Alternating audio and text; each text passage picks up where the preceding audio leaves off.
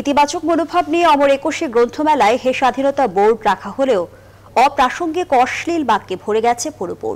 বাংলা একাডেমির পক্ষ থেকেও নেই কোনো তদারকের ব্যবস্থা। বইমেলায় আগত পাঠক, দর্শনার্থীরা বলছেন, এমন সব বাক্য অসুস্থ মানসিকতার বহিঃপ্রকাশ।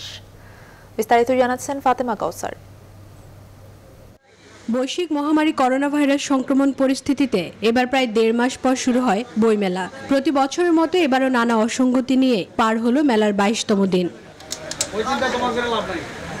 এবারের বইমেলায় রাখা হয়েছে বিশেষ বোর্ড, যার শিরোনাম হে স্বাধীনতা, যেখানে লেখা রয়েছে, লিখুন আপনার কথা। প্রতিদিন অনেকেই সেখানে লিখছেন, দেশ, স্বাধীনতা, তারুণ্য ও অধিকার নিয়ে। পাশাপাশি অপ্রাসঙ্গিক ও অশ্লীল বিভিন্ন বাক্যও লিখছেন কেউ কেউ। বিকৃত মানসিকতার পরিচয় এখান থেকে বের হয়ে আসা উচিত। অনেক ধরনের লেখছে যে অবাস্তব অবাস্তব কিছু জিনিস লেখছে। আমাদের মনের ভিতরে অন্যরকম যাতে একটা চেতনা আনতে পারি এরকমের কিছু কথা লিখলে সত্যি খুব ভালো লাগতো।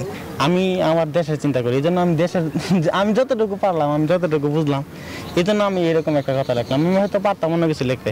তবে তদারকি বা পর্যবেক্ষণে রাখা হয়নি এই বোর্ড। নানা অসঙ্গতির কথা জানা নেই কর্তৃপক্ষেরও এখানে বোর্ড দিয়েছে তারা কিন্তু হচ্ছে কর্তৃপক্ষ কোনো মনিটরিং সেল বা হচ্ছে মনিটর করার জন্য কাউকে রাখে নাই। যার কারণে এই সুযোগগুলো পাচ্ছে। হ্যাঁ আমরা তাহলে তাদেরকে জানাব। আর আসলে যার যার মানসিকতা অনুযায়ী কাজ করছে। মেলার বাইশতম দিনে নতুন প্রকাশিত বইয়ের সংখ্যা আটচল্লিশটি। এ নিয়ে এ পর্যন্ত মোট বই এলো দু হাজার তিনশো তেত্রিশটি।